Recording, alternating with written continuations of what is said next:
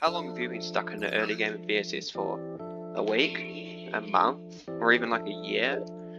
Well, this guide aims to help you move from the boring early game stage into the significantly more interesting mid to late game stages. But even if you're not in the early game anymore, I can assure you that this guide will have some tips that will still apply to you. Before I begin, I just want to clarify what I will be considering early game. In the opinion of many high level players, early game is anything before Supreme Stone. This means I'll be covering some crucial tips that are essential to know in the stages before you get your Supreme Star Amulet and move into the big game. Some basic information you should know before you start is that gifted bees give hive bonuses. These hive bonuses will not stack, which means you should not have multiples of gifted bees unless instructed to by like a hive building guide. So tip number one, quests. Grinding the correct quests. Some quests are more important than others due to the rewards they give you. Before you achieve 35 bees on the last area currently in the game, you should be prioritizing black bear quests. This does not mean you shouldn't do other quests like science bear, etc. as these are also important. Just have quests going on in the background. After you get 35 bees, you want to focus on spirit bees quest line, since the spirit petals are very useful. It is important to note that you technically only need to do 20 out of 30 quests. Continue to do the other quests in the background while you're doing these. Tip number 2, petal order. The order in which you use the spirit petals you obtain from the spirit bear quest line is important, as it will most likely influence how fast you progress. It is generally agreed upon that the optimal order in the current meta is to first get the petal belt, then donate your second petal to the wind shrine so you can start to get windy bee. After this, you can choose to get your third petal for the petal wand, but this is considered an optional upgrade. I would recommend that you purchase it however. Tip number 3. Materials. We all want to use that diamond egg on our hives to guarantee legendary bear. But before you do that, you should know it's better to save certain materials instead of using them when you get them. A good example of this is diamond eggs. We need 5 later on in the game to craft the diamond ones. If you use all of them on your hive to get a legendary bee that is likely to be useless to you anyway, you'll make a much more difficult grind for yourself later on. Most materials should not be used for anything apart from crafting in the early game, as you most likely do not know how to boost correctly, meaning you'll probably just end up wasting valuable material. Tip 4. Do not rush into picking a hive colour before SSA. Basically, your only option for a hive is mixed. Being mixed hive will help you be able to do quests much more easily. There is one exception to this however. If you can get every non-repeatable quest line, so that would be like Black Bear, Sparrow Bear, Science Bear, um, If you can get all of those done before you get your Supreme Star Amulet, there's an option to go early blue to make lots of honey while you are grinding towards getting the last few gifted B types for your Supreme Star Amulet. Tip number 5. Don't waste your honey. There will be a progression chart on screen starting from when you have porcelain gear even before this stage, you can waste honey. The thing that you should not buy is the spark staff. It is a way better idea to just go straight from the golden rake to the porcelain dipper because the spark staff is just terrible. You should never buy the spark staff, especially in early game. Tip number six: gifting order. Tickets are a valuable resource in Bee Swarm Simulator. They are used to buy useful things such as event bees, the cub buddy, star treats, and gold eggs. In the early game, it is not worth it to buy gold eggs or the cub buddy, as the event bees will be a much better investment. For the event bees you, you should buy, you should buy Tabby first.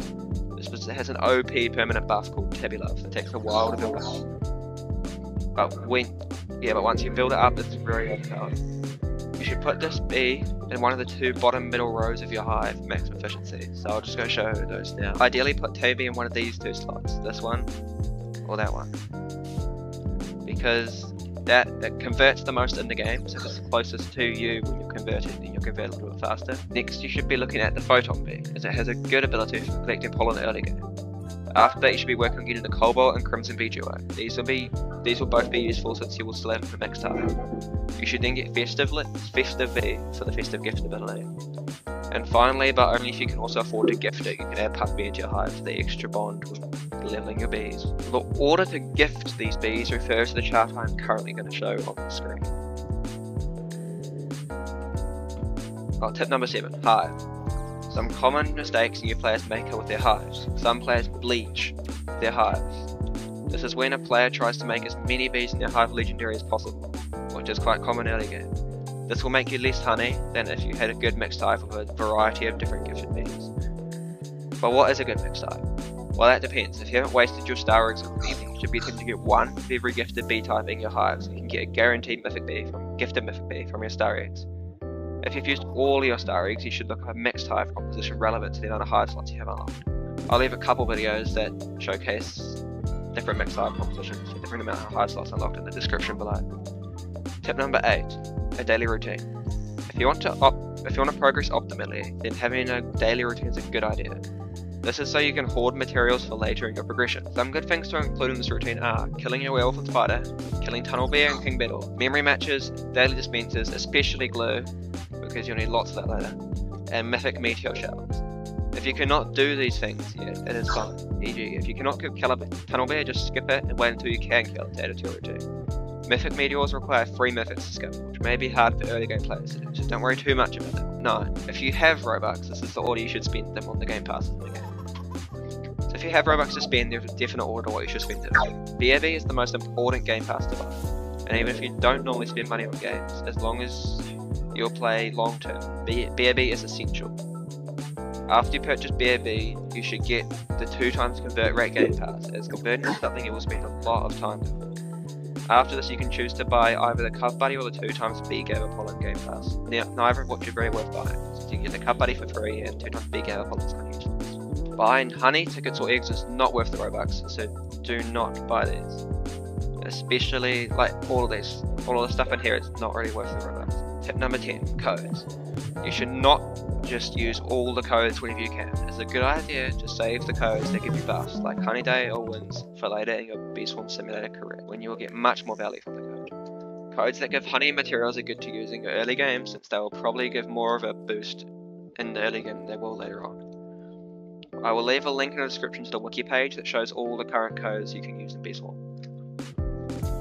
Bonus tip, macroing. Macroing is allowed in Bee Swarm Simulator by the developer. Macroing is when you get a computer program to play the game for you. This allows you to make large amount of honey and materials effortlessly. Macroing is essential if you want to get on the all-time honey leaderboard. But if your goal is to hit the end-game, it is possible to do so without using a macro. However, the end-game can take upwards of 24 100 hours or 100 days of playtime. Yeah, so a macro is normally going to save you a lot of time. If you want to know how you can set up your own macro, I'll leave a tutorial in the description of this video. It's important to note that this is PC only, and I believe it only works on Windows devices. Conclusion. I hope these tips help you with your journey to the big wide world of Bee Swarm Simulator. I was not able to cover everything in this video, so I suggest you either join the Bee Swarm Guide Help Discord server in the description, or to join my Discord server to get help from me personally. Another thing to keep in mind is that Bee Swarm Simulator is a game, and at the end of the day, as long as you're having fun playing the game, that's all that matters. These tips will help you progress much faster if that's what you find enjoyable though. Thanks for watching these 10 tips for early gamers and be on the lookout for the next guide for the game I'm going to release soon. Make sure to like and subscribe to these help since it really helps a lot keeping me motivated to continue making content.